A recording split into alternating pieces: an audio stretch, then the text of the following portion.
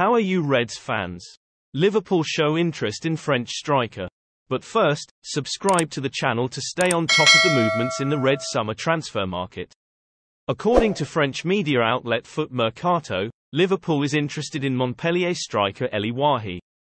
The 20-year-old French attacker has sparked the interest of numerous Premier League teams. The teams that are showing interest in the young striker are Arsenal, Tottenham, and Manchester City. Also, Italian giants, Juventus are looking to sign him up too. The rumors coming out of the player's camp are that he is not interested in making a switch mid-season and wants to see this season through at Montpellier.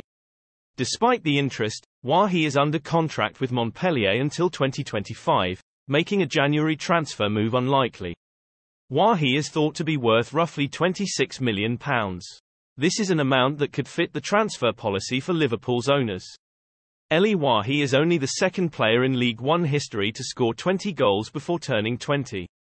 He is behind Kylian Mbappe but ahead of Karim Benzema and Thierry Henry when it comes to this record. Last season, the teenage attacker enjoyed a breakthrough season. He scored 10 goals in 33 appearances which earned him recognition within the French Football Federation. No wonder some of Europe's biggest teams are keeping an eye on him.